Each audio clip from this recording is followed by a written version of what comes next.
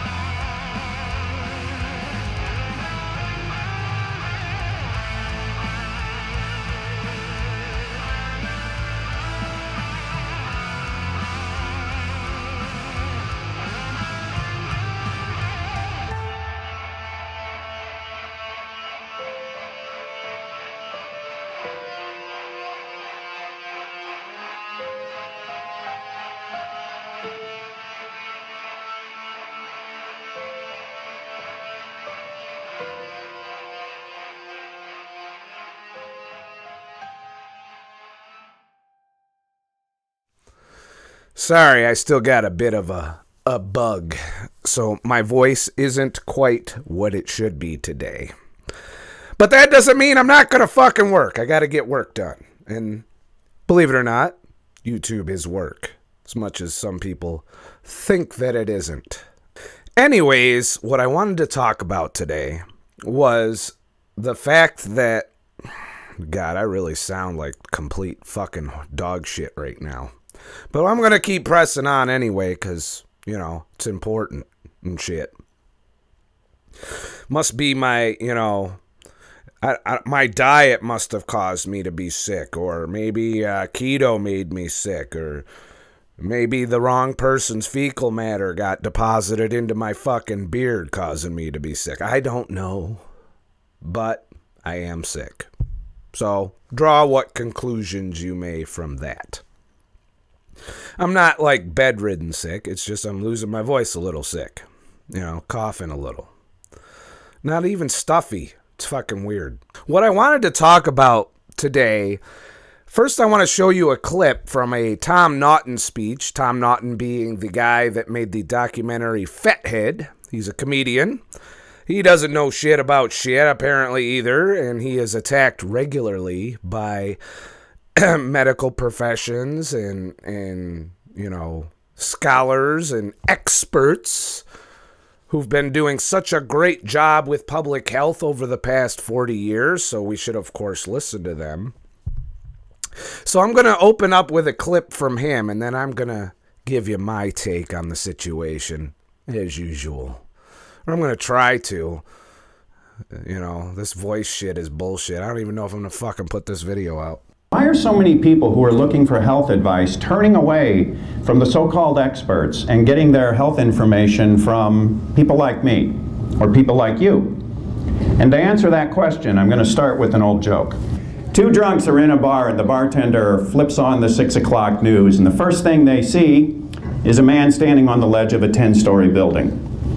So one drunk elbows the other and says, hey, I got 20 bucks as he jumps. And the other drunk says, okay, I got 20 bucks, says he doesn't. Sure enough, boom, guy jumps. So the second drunk says, okay, I'm an honest man, here's your 20. The first drunk says, nah, I can't take your money. I've been drinking here all day. I seen him jump on the 4 o'clock news. I seen him jump on the 5 o'clock news. And the second drunk says, well, so did I, but I didn't think he'd do it again. And that's the reason people are turning away from the experts. Because for 30 some years now, they have been told to make the same bet over and over and over again. And they are tired of losing. And the bet they have been told to make looks like this. This is what we have all been told to do for the past 35 years or so. Does anybody think it's working? When you're at a shopping mall or an airport, do you look around and think, man, everybody looks so good these days? no, of course not. Because the fact of the matter is, baby boomers and people my age and people younger are fatter and sicker on average than their parents and grandparents were at the same age. And that's a shame because back. And that trend is going to continue, by the way. Um, your kids and their grandkids are going to live not quite as long as you. They are going to experience more health problems than you. They're going to have more you know a higher body fat percentage than you unless we right the ship. And that's what we are doing as a community.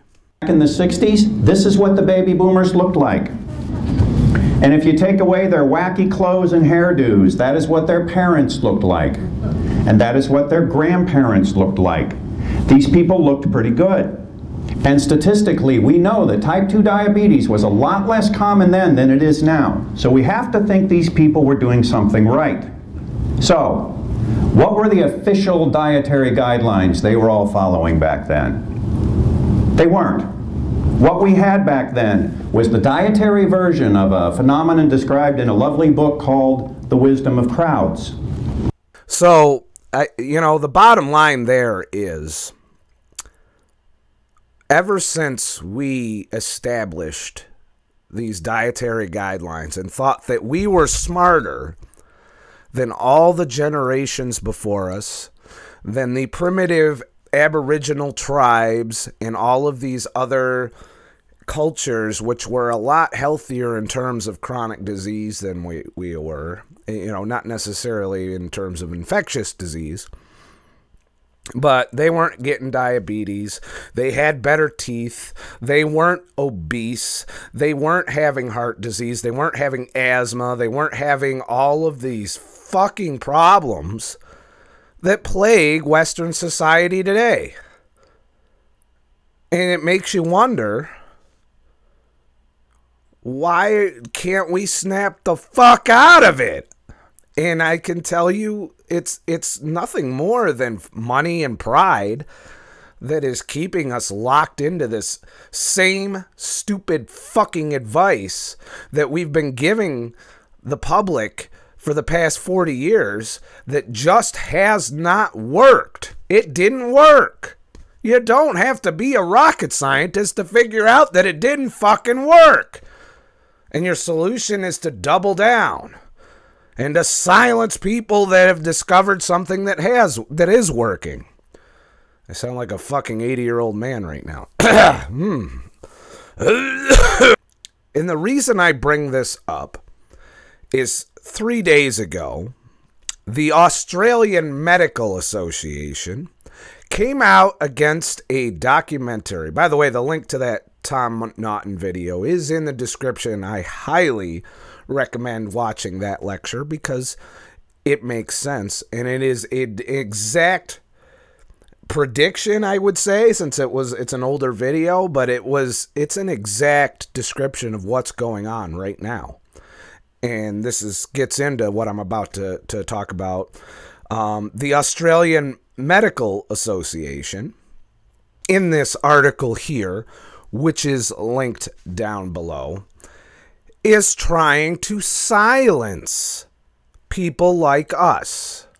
And I've noticed it starting to become a thing where experts are attacking bloggers, vloggers, and make no mistake, this is only like the first shots in this this battle to come um, for the hearts and minds and wallets of all of you. Because if you start listening to each other the way we did back in the 20s, back in the 50s, if we start figuring out for ourselves how to be help, healthy without the pharmaceutical industry and without letting the food industry cash in on our addictions if we start to do all that, a lot of people with big ass fucking houses are going to have to move to little ass houses. A lot of people that have careers built on our sickness and death are going to have to find something else to do for a living. And a lot of scientists and government officials who want you to listen to every fucking thing they say are going to have to say they were wrong. And that is probably the biggest thing standing in the way is nobody wants to admit they're wrong because then you'll never fucking listen to them again. And that might even be a true story. So I guess we need new motherfuckers that are smart and can tell us as experts what to do that are giving us correct information instead of the bullshit of the last 40 years. And that's why my channel is growing. That is why keto has become more popular. That is why people are going in to educate their doctors instead of the other way around. That is why we are trying to find alternatives to pharmaceutical solutions. And when you add in the medical costs and the impact of our shitty insurance deductibles and our poor, you know, healthcare system, which is just overburdened with our lack of health. And if we were to fix our health, we would make a huge dent in the healthcare issue. You know, ask anybody that's having health issues, thousands of dollars out the fucking window. And a lot of people don't have thousands of dollars to throw out the window. They're living paycheck to fucking paycheck. And you want them to spend $1,000 a month on insulin or $300 a month on this pill or $400 a month on that pill because the pill itself was $1,000 and insurance only paid for part of it. When you can probably fix it with nutrition. But then them people charging you $1,000 a pill they're not making money anymore. So you think they're just going to take this shit and say, "Oh, well, yeah, I guess the diet works. Let me stop making all this fucking money now. Let's let's get rid of my yacht and my fucking big ass house with fucking seven bedrooms and four shitters because you can go down to the grocery store and fix this shit." And it's frustrating as fuck because I see it all around me. There's multiple people I give a shit about that are dealing with this.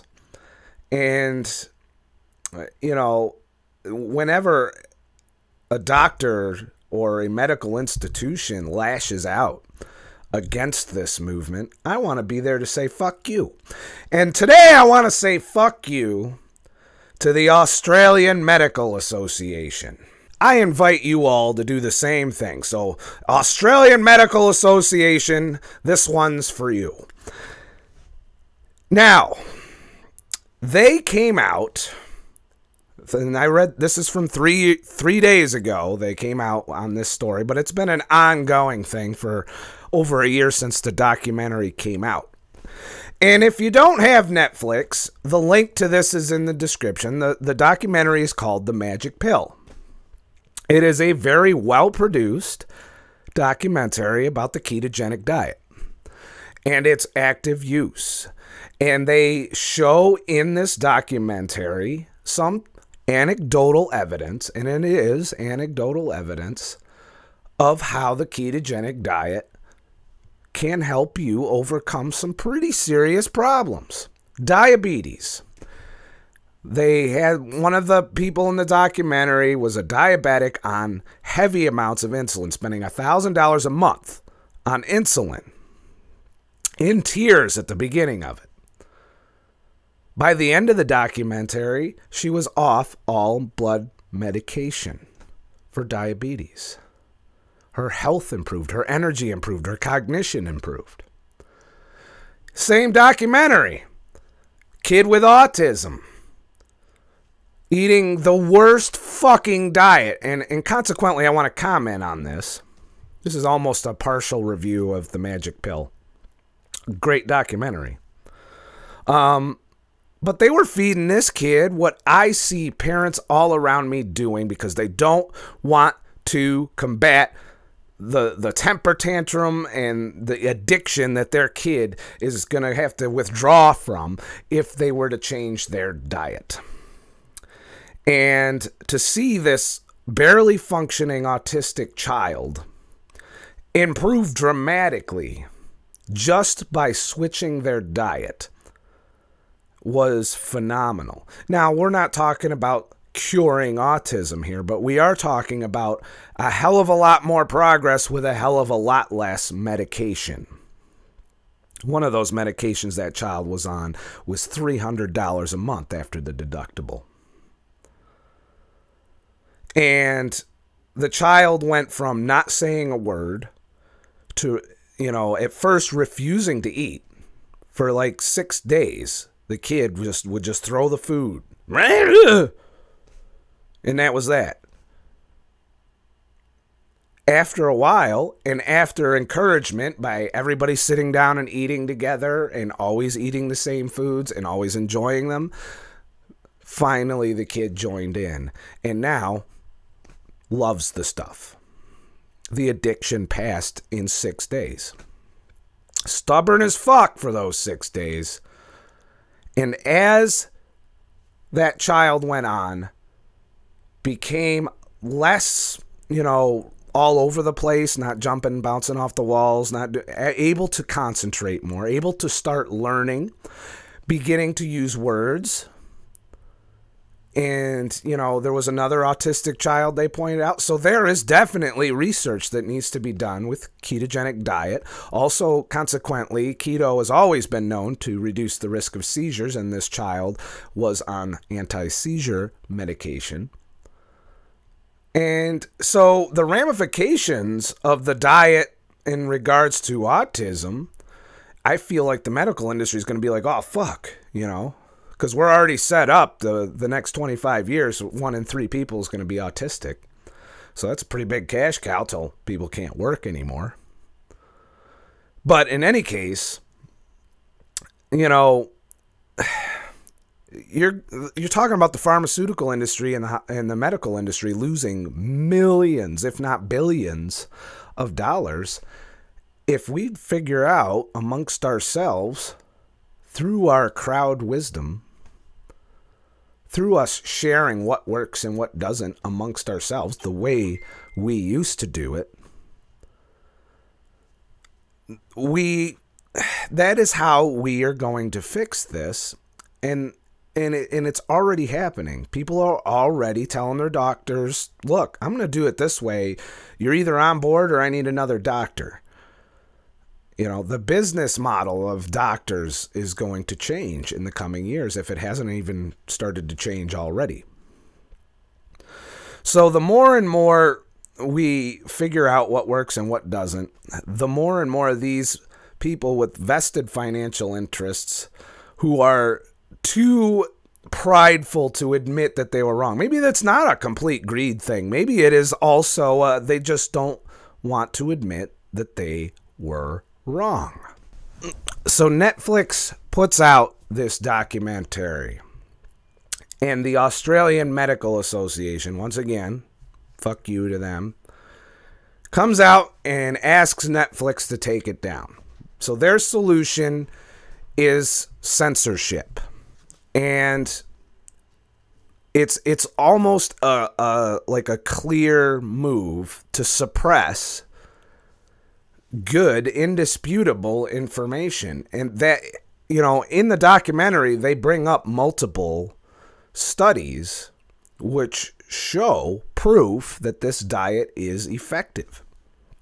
They also, in The Magic Pill, address cancer and the current research and anecdotal evidence on the ketogenic diet helping fighting cancer preventing it from growing. And we're talking strict keto there. Um, the lady that was in the documentary, you know, straight up was on 20 grams or less per day. You know, that's damn near carno levels. Clearly not carno, though. She was making some recipes and shit. So, you know, and, and if you look at it, it's not an isolated incident. If you look at the Tim Noakes case, where they took his ass and put him on trial for not only saying that everyone is being wrong about nutrition and that we need to do something about it, but for telling somebody that you know children should be weaned onto low carb high fat diet. That was what started it on twitter. I don't know why anybody posts on fucking twitter anymore. It just leads to all bad shit happening to you why do we even bother with twitter name to me one person who's benefited from being on twitter who's who's having a good life without any controversy at all because they post on twitter in any case, you're getting these experts attacking non experts or assholes like me. You know, thinking that we, because, you know, they're being defensive because people are losing faith in their expertise. You know, when people start losing weight without going to a personal trainer, what do you think the personal trainer is going to say? When people fix their health and nutrition and diet without going to speak to a dietitian, what do you think the dietitian's going to say? And when people fix their health without having to go to their doctor and hospital and without having to get thousands of dollars worth of pills, what do you think those institutions are going to say? How do you think they're going to respond? Do you think they're going to be like, oh, well, that's good. I'm glad you did that. Good luck to you. Do you, do you honestly think that's what they're doing here? Because it looks to me like something completely fucking different. It looks to me like, oh shit, we can't have this. We need to fucking shut that shit down. Call Netflix. We need to get them to take that shit off the air. We can't afford to have this kind of bullshit out there. It's dangerous. You want to know who it's dangerous for? Rich motherfuckers that are taking advantage of sick, dying people. That's who it's dangerous for. You're you're talk we're talking about going back to a way of eating that we always had, that we lived off of for millions of years. It wasn't until we started fucking around with that, with agriculture and industrialization, that we really fucked that up. And now we're trying to tell you, hey, all this dumb shit we've been doing over the past couple hundred years, or particularly some of the shit we've been doing for over the last 8,000 years. That's another um, debate we'll have in another video. But, you know, it, even if you just raised your hand and said, okay, 100 years ago, we weren't as dumb. So we need to go back to that for now. You know, we weren't perfect then either, but we were fucking hell of a lot better than we are now. And there's no willingness to do that on a lot of these institutions. Now, I'm not speaking in a blanket statement. There are doctors and experts and scientists who many of whom we all follow in this community as we share our knowledge who have stepped off of that box, realized we've been fucking up, and have come up with solutions to get us back to health. And if we ignore those outlying experts in favor of the institutionalized medicine, the government guidelines, all of which are not going to stand up and say, Oops, I'm sorry we killed millions of you with our dietary fucking guidelines. Hold on while we just, uh, you know, they're not going to do that. Just imagine the lawsuits if they admitted they were wrong. There's a lot of damage there. And I'm really surprised the class action lawsuit hasn't started popping up yet. Surprised the lawyers aren't all over that. There's a lot of money to be had there. You're talking about suing really, really billion dollar industries. You know, just saying. It's a possibility. But they're not going to admit that they're wrong. So we can't put as much faith in them. But they're noticing. They're noticing that we're not putting as much faith in them.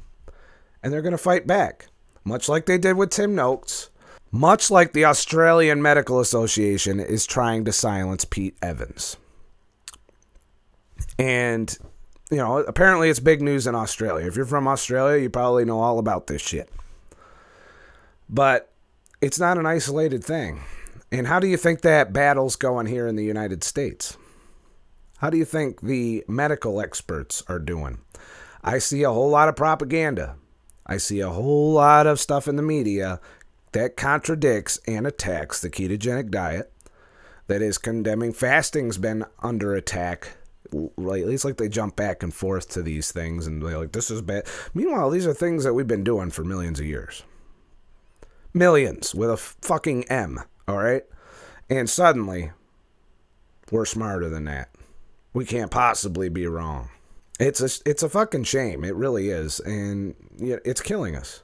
It, it's it's really destroying us.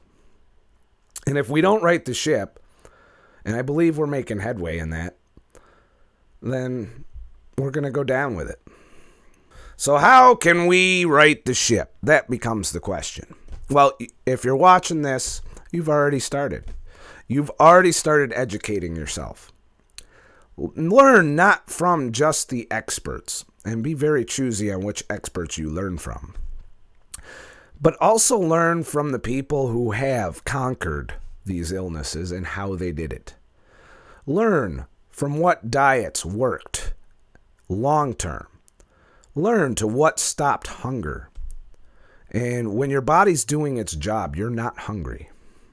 If you're hungry all the time, you're doing something wrong. You know, these are the things we have to do and communicate with everyone you can. Anyone you think is needs a little help. Now people are resistant to that because they're addicted to these foods, and that's a whole other issue to tackle, how to break that food addiction, but it is a legit thing. And I see it all the time in the comments and in, in messages that I get that it's really hard to stick with a ketogenic diet because of the addiction of processed foods and sugar and carbs. And it's a real thing. And I'm from personal experience. It takes a long time of abstaining from those things before you, like that little girl in the magic pill who at first was like, nope, give me the fucking goldfish. Give me the fucking apple juice. Fuck this meat and fat shit. You can shove that right up your ass. Go get me my goldfish, bitch. You know, that went from that to, um, yeah, more. And that's exactly what I have done, and a lot of you have managed to do as well. And, you know, that's what we have to do. We have to help people, help or help people around us overcome those addictions and share the information cuz maybe we get a little bit wrong here or there with diet and fasting. There's more to come on the fasting front. There's more bullshit going on in fasting. But at the very least, the ketogenic diet, I am 100% convinced is the healthiest diet because it's way, the way we were designed to eat. It's what we've been doing before agriculture. Now, vegans love to say, oh no, we were gathering shit. I see very little evidence in that in terms of human history. We were always hunter gatherer societies with a heavy emphasis on the hunter part.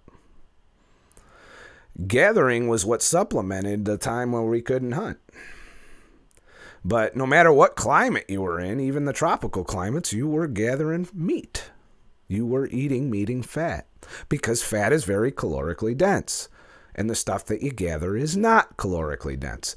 And we have a very energy intense brain that requires a lot of calories just sitting on your ass, not to mention the physical shit you had to do to survive back then.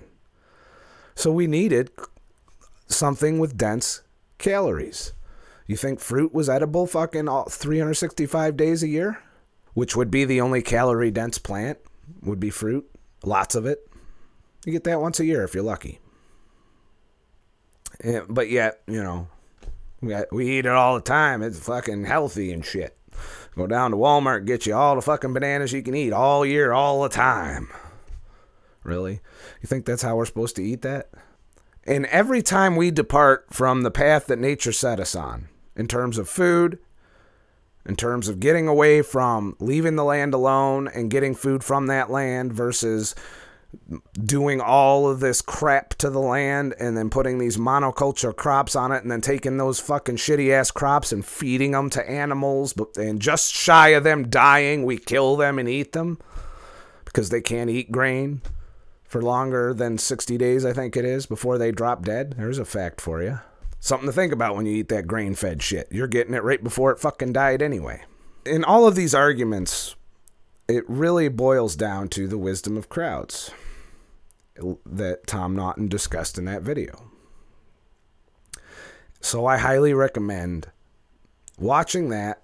Watch the magic pill. That if you want to say fuck you to these medical motherfuckers, watch that movie on Netflix. Let Netflix know that you're behind that, that they stood by that, that they kept even though they do keep vegan movies too, but we won't hold that against them.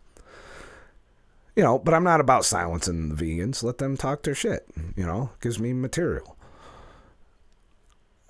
But if you want to go a step further, in the description are a couple of Amazon links to the Magic Pill so you can watch it, you know, rent it or purchase it via Amazon and show your support to them and me at the same time because that's an affiliate link.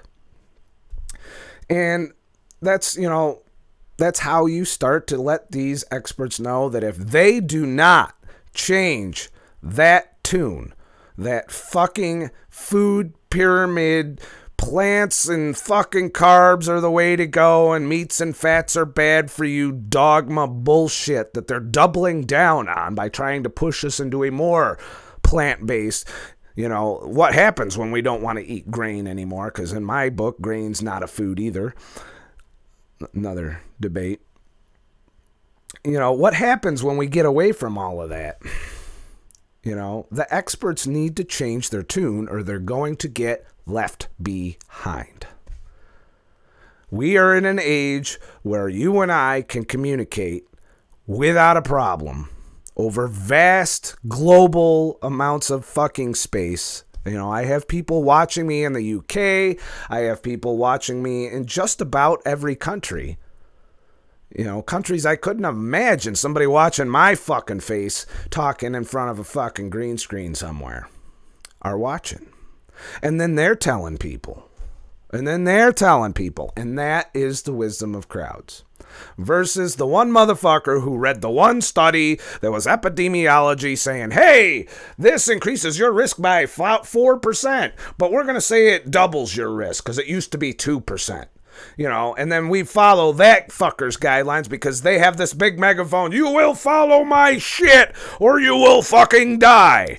Versus so many of us who have accumulated knowledge from all corners of the world, from all different cultures, and have said, hey, there seems to be a common way that we've survived for millions of years. Maybe we should do that. I don't know. It's really up to you. And I'm sorry, this video probably sucked because my voice is off, and that's throwing me off that I can't fucking talk the way I normally want to talk. So I, I hope that you were able to tolerate this video, but I do still feel it was appropriate to get it out in a timely manner. So go ahead and check out The Magic Pill. Go ahead and check out Tom Naughton's video and let me know what you think in the comments. Engagement helps. But what the fuck do I know, really? I'm not an expert. I'm one of the many of you doing this. And don't live in an echo chamber. Listen to the other viewpoints, and you'll find commonalities in all of them. Biggest commonality is don't eat processed foods right now vegans and and ketos and paleos and Mediterranean motherfuckers can probably all agree that processed foods and sugar are bad. There's a little bit of arguing on the grain front. You'll, it's finding those commonalities which will eliminate all of these problems in our diet. And like I said, the further away from nature that we get, the further away from the way we used to eat that we get, the worse our health is going to get, the more problems we're going to have all preventable. And it's going to cost you time. Time that is precious because you're going to have to spend time making money to pay the pharmaceutical industries. You're going to have to spend time to pay your deductibles for your medical costs when you have to go to the ER all the time, when you have to get surgery, when you have kidney failure or fucking, you know, diabetes or diabetic nephropathy and, you know, all this other bullshit that can happen to you. You get cancer and you get, you know, there's just so much that you lose in quality of life that could be prevented if you just eat the way we were supposed to eat, the way we used to eat. Now, there's other concerns that I understand, the economic concerns. That is probably the only argument against this way of eating in my book that holds any water, and that's feeding the population whole foods. Can it be done? Yes, but it would require a systematic change of the way we produce food away from the industrial agriculture, chemically laced, fucking GMO'd to death bullshit that we currently do into an organic farming, let the land do its job model, which the magic pill goes over. So, like I said, that's a good documentary and I recommend it. Please like and subscribe for more shit, and I'll make all kinds of shit and shit. If you found this video helpful and enlightening in any way, please go ahead head to scottthetruckdriver.com, leave a tip in the tip jar, and I would be thankful and grateful and be able to do spend more time making videos and less time doing my other gigs, which I do have quite a few gigs to do this week. Before we go, I've been promising to do one email per video, and this message came to me today.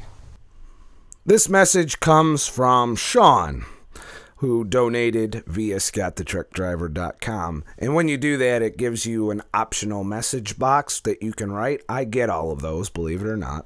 And I do read them and I do try and get to as many as I can. But like I said, I'm one man, so it's hard to get to all of them. But today this jumped out at me and I wanted to add it to today's video.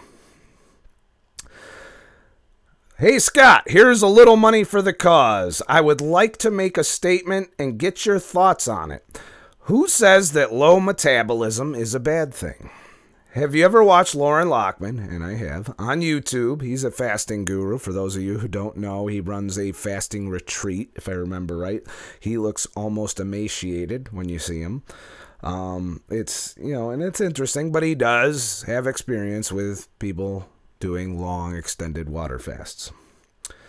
He has a fasting center in Costa Rica. He has stated that a high metabolism is a quicker way to death. And if you think about it, when you go to that rat study where when you calorically restricted the rats by 50% that they lived 50% longer that kind of is along those that line of thinking that you will live longer if you are calorically restricted um, could be a true story. But we're going to get to my response in a second.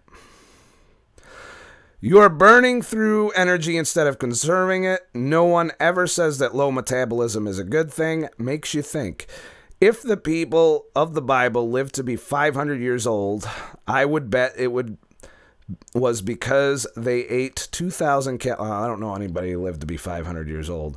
Because they ate 2,000 calories a week instead of 2,000 calories a day. That's pretty low. And it's already been tried. The Minnesota starvation experiment and this is going to be why a low metabolism is a bad thing. We'll get to it in a minute. I'll just finish your, your message. There are people who believe that a long life go hand in hand with calorie restriction, just something to think about. Didn't mean to get all biblical and shit. And like I just said, the Minnesota starvation experiment did exactly that. Gave them 1,800 calories a day, which was under, and exercised them on top of that. And they started to, they were ravished by hunger. Their metabolism tanked. They had no energy. They started to become mentally obsessed with food and mentally ill, eventually gnawing on their own bodies in some cases. That's the level of debilitation that they experienced. Make no mistake, when your body's slowing shit down, it's not doing so because it's a healthier state of being. It's doing so so you don't fucking die. And there is a floor to how much it can slow down. And if you go below that, you're really, really fucked. But it can't, you know, continuously keep you there without consequence. And you some of the other symptoms that come with that slow metabolism are reduced energy expenditure, reduced body heat, you're colder, easier, a lot colder. You have a low get up and go. You know, you don't want to move around a lot. You don't want to exercise, and you'll do everything that you can to justify not exercising. You're just, and your mental clarity goes right the fuck out the window, all the while your hunger levels start to skyrocket. And you just can't function as a normal human being in that state for very long. That's why most diets fail eventually.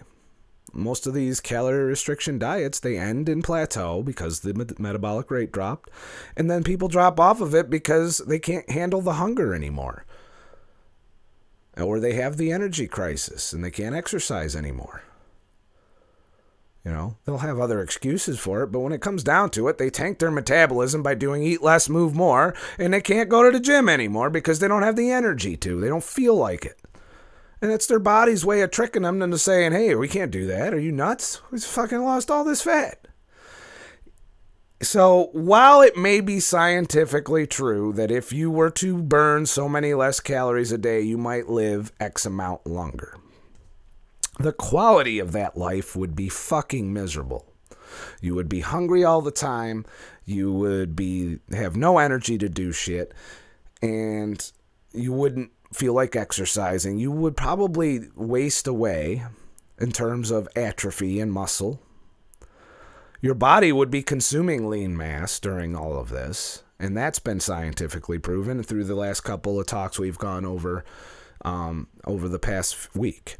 So, to, to answer your question, is it a bad thing to burn 500 less calories a day because you fucked your metabolism? And that is a resounding yes, it's a bad thing um, for those reasons. It's not where we're designed to be. Our body is designed for energy balance.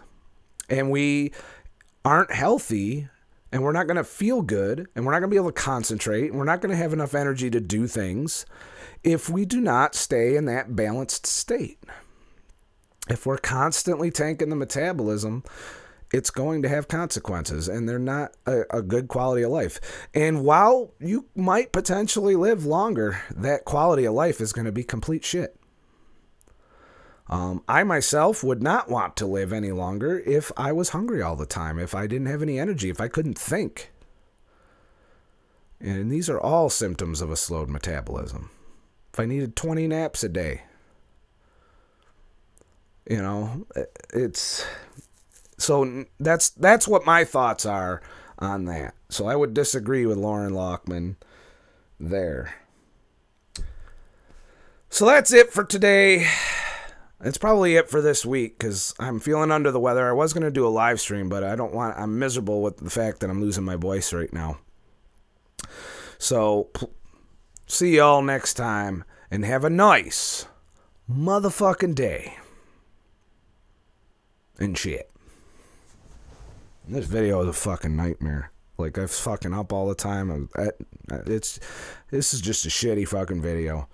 I don't know why anybody watches me. They should go watch all these fucking food pyramid experts out there who apparently know how to fix our health. Oh, and Australian Medical Association. I forgot. I almost forgot.